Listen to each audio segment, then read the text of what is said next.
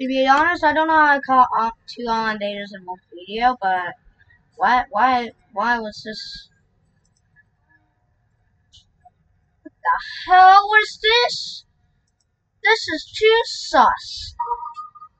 Oh, I'm replaying, playing, so I'm just gonna ignore that message. And uh, yeah, I'm gonna keep on going with my roleplay. I'm just gonna ignore it, try.